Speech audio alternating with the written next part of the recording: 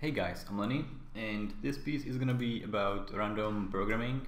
Um, I was trying to read a web page and I was uh, searching for the best framework or library to use. Uh, so um, I started with Selenium, which is what I used for testing uh, in other projects for my job, for my last job, and that's total overkill. That's too much. Um, I just needed to read uh, a piece of information on the page.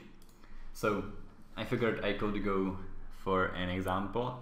And my my cousin has a YouTube channel as well, and she's growing faster than I am. So I, I thought I could check up on her.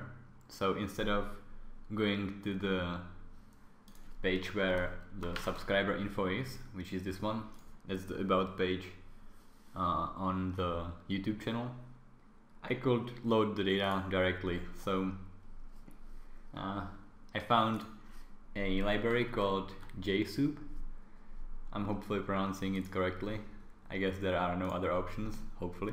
Um, and uh, that's that's pretty neat way to get any element from the page.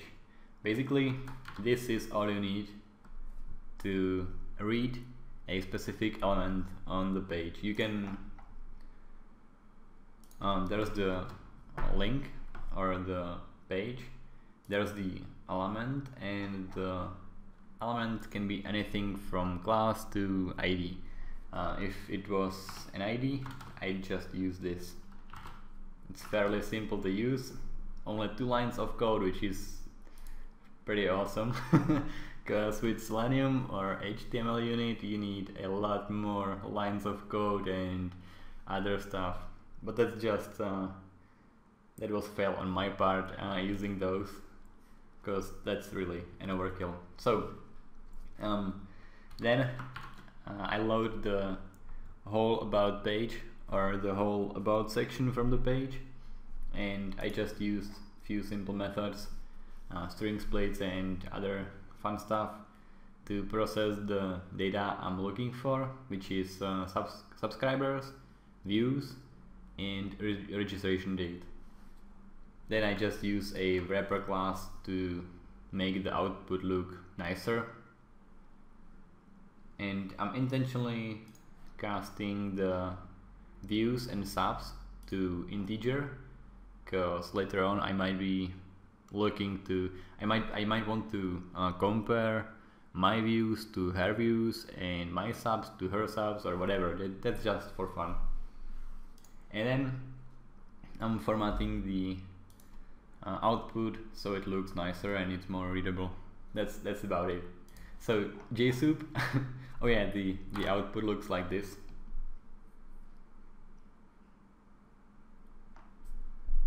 Uh, here's the output so as you can see, she's already beating me on subscribers.